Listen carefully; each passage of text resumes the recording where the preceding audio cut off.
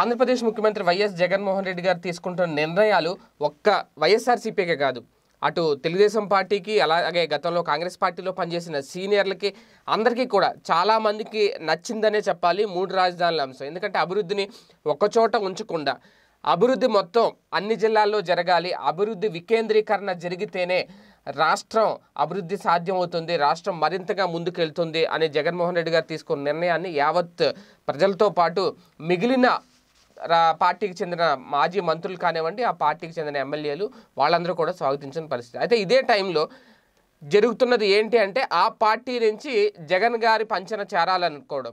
అంటే ఇప్పటికే పార్టీ మారబోతున్న ఎమ్మెల్యేలు కానివ్వండి పార్టీ మారబోతున్న మాజీ మంత్రుల లిస్టులు ఆల్రెడీ హల్చల్ చేస్తున్నాయి సోషల్ మీడియాలో. ఇలాంటి టైంలో ఎప్పుడైతే రాజధానికి సంబంధించి కీలక డెసిషన్ తీసుకోబోతున్నారో జగన్ గారు అదే టైంలో ఉత్తరాంధ్ర అభివృద్ధి కోసం ఆయన కృషి చేస్తున్నారు.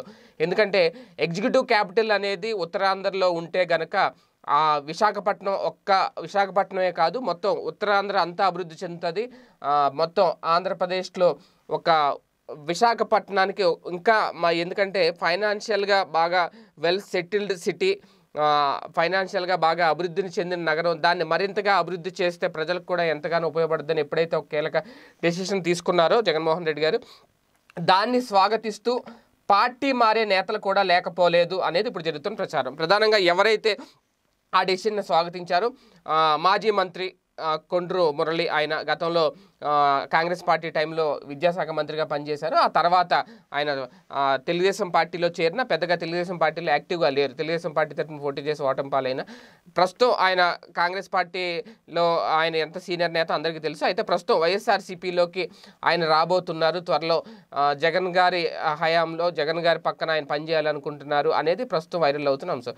ఒకవేళ ఆయనే గనక చేరితే అలాంటి సీనియర్ మంత్రులు చాలామంది ఉన్నారు. ఆంధ్రప్రదేశ్లో అంటే అటు రాయలసీమలో కానివ్వండి ఇటు కానీ అంటే ఇప్పుడు ఎప్పుడైతే రాయలసీమ అభివృద్ధి ఒక పక్క అలాగే ఉత్తరాంధ్ర అభివృద్ధి ఒక ఒక పక్క డెసిషన్ తీసుకున్నారు ఆ ప్రాంతంలో ఉన్న రాజకీయ సీనియర్లు ఎవరైతే ఉన్నారో వాళ్ళందరూ కూడా వైఎస్ఆర్సీపీలో చేరే అవకాశం ఉంది. దాంతో పార్టీ మరింత బలోపేతం అయ్యే అవకాశం ఉంది అనేది ప్రస్తుతం వైరల్ అవుతున్న అంశం. చూద్దాం మరి ఏం జరుగుతుంది. అదే కనుక జరిగితే పాత మాజీ మంత్రులు కానివ్వండి లేదంటే సీనియర్ నాయకులందరూ కూడా వైఎస్ఆర్సీపీలో చేరతారా? ఎందుకంటే వాళ్ళకి ఎలాంటి రిస్ట్రిక్షన్స్ ఉండదు కాబట్టి రాజీనామా చేయాలి రావాలి అనేది వాళ్ళందరూ వస్తే కనుక జగన్ గారిని వాళ్ళని యాక్సెప్ట్ చేస్తారా లేదా అసలు ఏం జరుగుద్ది అనేది?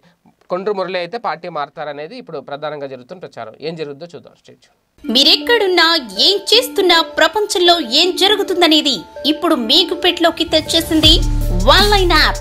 Political movies రాశి ఫలాలు ఆరోగ్య సలహాలు సీరియల్స్ విశేషాలు. ఇలా ఒకటేమిటి? బోలెడన్ని విశేషాలను మినిట్ టు మినిట్ మీకు అందిస్తుంది one line app. So late ఎందుకు? డిస్క్రిప్షన్లో ఉన్న లింక్ ద్వారా వన్ లైన్ యాప్ డౌన్లోడ్ చేసుకోండి. One line it's for every